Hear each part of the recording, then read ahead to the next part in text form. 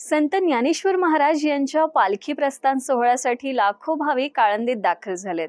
संपूर्ण अलंकापुरी पंचक्रोशीत हरिनामाचा गजर सुरू असून आज सायंकाळी माऊलींच्या पालखीचं प्रस्थान झालं. संत ज्ञानेश्वर महाराज यांच्या पालखीचा आज पहिला मुक्काम आळंदीत आजोळ घरी असणार आहे. तर उद्या सकाळी सहा वाजता माऊलींची पालखी पुणे मुक्कामाकडे मार्गस्थ होणार आहे.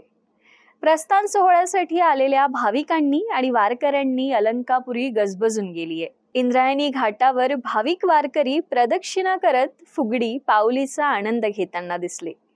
महाराष्ट्रासह संपूर्ण देशभरातून लाखो वारकरी आळंदीत दाखल झालेत. तत्पूर्वी दहा जूनला शनिवारी संत तुकोबारायांच्या पालखीने पंढरपूरकडे प्रस्थान केले. संत तुकाराम महाराज यांची पालखी आज उद्योगनगरी आकुर्डी येथे मुक्कामी आहे.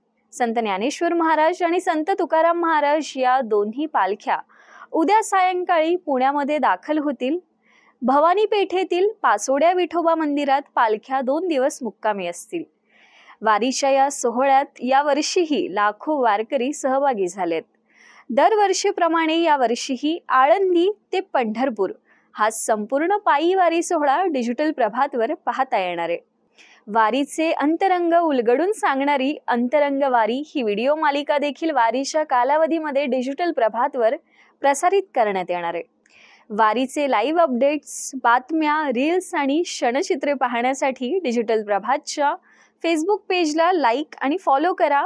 हा व्हिडिओ तुम्ही यूट्यूबवर पाहत असाल तर आमचं चॅनल सबस्क्राईब करा.